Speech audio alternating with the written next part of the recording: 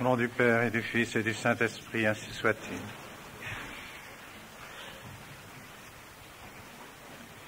Mes bien chers amis, mes bien chers frères, dans sa magnifique encyclique Quas Primas du pape Pie XI, instaurant la fête du Christ roi, le pape explique pourquoi notre Seigneur Jésus-Christ est vraiment roi. Et il en donne deux raisons profondes, deux raisons particulières. Sans doute il y a toutes les preuves scripturaires. Vous venez de lire l'Évangile, de l'entendre, dans lequel notre Seigneur Jésus-Christ lui-même se proclame roi. Et de nombreux passages des psaumes et du Nouveau Testament expriment la même qualité de notre Seigneur Jésus-Christ. Il est roi. Mais le XI prend soin d'approfondir les raisons de cette royauté. Et la première est ce que l'Église appelle l'union hypostatique, l'union de la personne divine avec la nature humaine. Notre Seigneur est roi parce qu'il est Dieu. Et en effet, il n'y a pas deux personnes en notre Seigneur Jésus-Christ. Il n'y a pas une personne humaine et une personne divine. Il n'y a qu'une seule personne, la personne divine, qui a assumé directement, sans passer par l'intermédiaire d'une personne humaine, une âme humaine et un corps humain. Par conséquent, lorsqu'on parle de Jésus-Christ, nous disons la personne de Jésus-Christ. Or, cette personne de Jésus-Christ est une personne divine. Certes, Jésus-Christ est Dieu et homme, puisqu'il a assumé une âme humaine et un corps humain. Ainsi, l'âme humaine de notre Seigneur Jésus-Christ et son corps se sont devenus tellement unis intimement à Dieu qu'on ne peut pas les séparer. Et de telle sorte que c'est la personne de notre Seigneur Jésus-Christ tout entière qui est divinisée, qui est divine et qui divinise son âme et son corps. Et par conséquent, notre Seigneur Jésus-Christ, tel qu'il se présentait sur les routes de Palestine, tel qu'il s'est présenté même à Bethléem comme enfant, notre Seigneur Jésus-Christ est roi. Non seulement il a le caractère de la royauté, mais l'Église nous enseigne que par cette union de Dieu à la nature humaine, à l'âme et au corps humain que notre Seigneur Jésus-Christ a assumé, notre Seigneur est essentiellement, par nature, essentiellement, le Sauveur, le prêtre et le roi. Essentiellement. Il ne peut pas ne pas être le Sauveur, parce qu'il est le seul à pouvoir dire qu'il est Dieu. Il est le seul à pouvoir dire qu'il est le prêtre, le pontife, celui qui fait vraiment le lien entre le ciel et la terre. Il est le seul aussi à pouvoir dire qu'il est le roi. Et s'il n'est pas roi selon ce monde, pour un territoire donné, et même seulement pour la terre, pour les hommes. En effet, notre Seigneur est roi non seulement de la terre, mais il est le roi du ciel. Voilà la première raison profonde de la royauté de notre Seigneur Jésus-Christ. Et cela, nous devons en être convaincus, afin de voir en notre Seigneur Jésus-Christ notre roi, notre roi à nous personnellement, notre Seigneur Jésus-Christ est notre roi. Mais il l'est aussi pour une seconde raison, et c'est encore le papillon, ce qui l'explique très bien.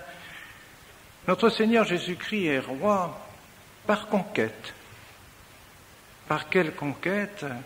Parce que notre Seigneur Jésus-Christ nous a conquis tous par son sang, par sa croix, par le calvaire. Regnavit alignio Deus. Dieu a régné par le bois, c'est-à-dire par la croix. En effet, notre Seigneur Jésus-Christ a conquis par un droit, un droit strict, toutes les âmes, quelles qu'elles soient, toutes les âmes euh, qui seront créées par Dieu et qui vivront un seul instant ici-bas sur cette terre, elles sont de droit les sujets de notre Seigneur Jésus-Christ, parce qu'il les a conquis par son sang. Il doit les racheter, il veut les racheter, il désire les racheter toutes et y appliquer son sang, son divin sang, afin de racheter les âmes et de les porter à Dieu et de le conduire à Dieu. Oui, notre Seigneur Jésus-Christ, par son sang et par sa croix, est de droit aussi notre roi. Et c'est pourquoi, dans les premiers siècles, après la paix de Constantin, lorsque les chrétiens ont pu présenter la croix officiellement dans leurs églises, dans leurs temples, dans leurs lieux de réunion, ils représentaient habituellement notre Seigneur Jésus-Christ comme roi, couronné, couronné de la couronne des rois. Car le Christ est bien notre roi et il l'est bien par la croix. Alors nous devons nous demander, en conséquence de ces principes, de cette nature de, notre Seigneur Jésus-Christ, roi, et de cette conquête que Jésus a faite de nos cœurs et de nos âmes euh, par sa mort sur la croix, nous devons nous demander si vraiment notre Seigneur Jésus-Christ est en pratique, quotidiennement, dans toutes nos actions, dans toutes nos pensées, est-il vraiment notre roi?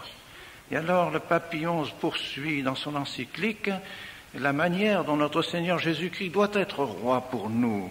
Il doit être le roi de nos intelligences, oui, de nos pensées, parce qu'il est la vérité. Jésus-Christ est la vérité, parce qu'il est Dieu. Alors, est-ce que vraiment notre Seigneur Jésus-Christ est le roi de nos pensées? Est-ce qu'il est vraiment celui qui oriente toutes nos pensées, euh, nos réflexions, euh, notre vie intellectuelle, la vie de notre foi? Est-ce que vraiment notre Seigneur Jésus-Christ est celui qui est la lumière de nos intelligences? Et notre Seigneur Jésus-Christ est encore euh, le roi de nos volontés il est la loi.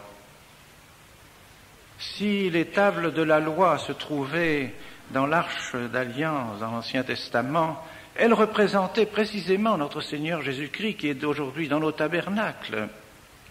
Mais avec quelle supériorité aujourd'hui nous avons la loi dans nos tabernacles, dans nos arches d'alliance.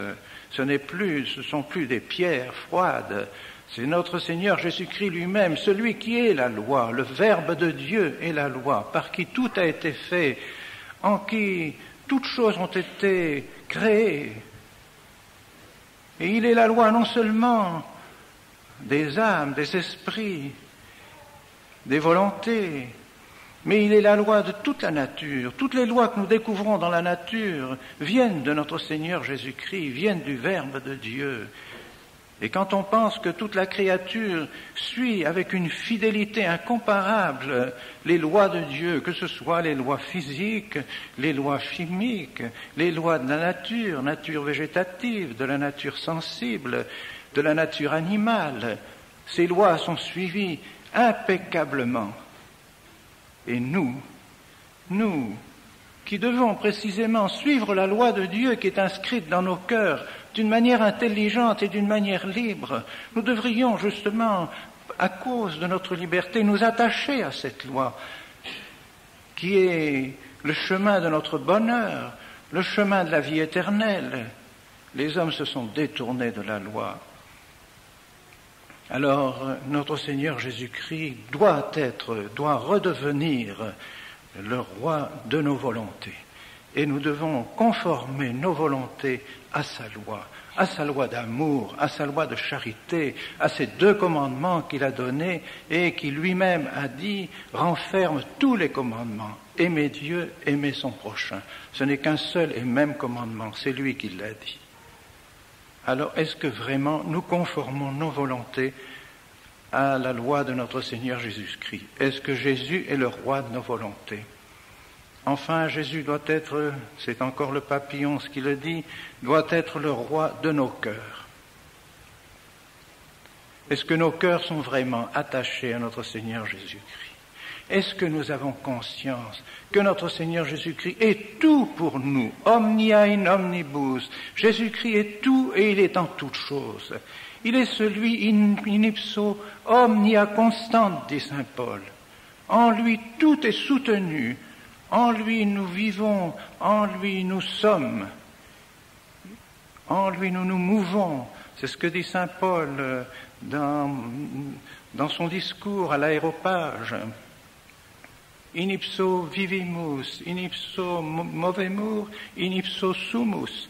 En lui nous sommes. Il tient tout dans sa main. Alors nous devons nous demander, ce que devait penser la très sainte Vierge Marie et Saint Joseph. Je pense que c'est là un exemple admirable pour nous. Si nous voulons que Jésus-Christ soit vraiment notre roi, essayons de nous imaginer ce que devait être Nazareth. Jésus, Marie et Joseph. Que devait penser Marie de Jésus? Que devait penser Joseph de Jésus? Il est incroyable, n'est-ce pas? C'est un grand mystère, un mystère insondable de la bonté et de la charité de Dieu. De penser qu'il a permis à deux créatures choisies par lui de vivre avec lui pour Saint Joseph pendant 30 ans, pour la très sainte Vierge pendant 33 ans, dans l'intimité de Jésus, dans l'intimité de celui qui est Dieu, de celui sans lequel ni Marie ni Joseph ne pouvaient parler, ne pouvaient penser, ne pouvaient vivre. Marie portant Jésus dans ses bras, portait Dieu dans ses bras. Comme le dit si souvent l'Évangile, ce n'est pas Jésus qu'elle portait, mais c'est Jésus qui la portait. Car Jésus était beaucoup plus grand qu'elle, puisqu'il était son Dieu. Pensons à ce que pouvait avoir dans son, dans cœur la très sainte Vierge Marie, vivant avec Jésus, le voyant agir, le voyant avec ses petits camarades, le voyant travailler avec Saint Joseph, eh bien nous aussi, nous avons la joie de vivre avec notre Seigneur.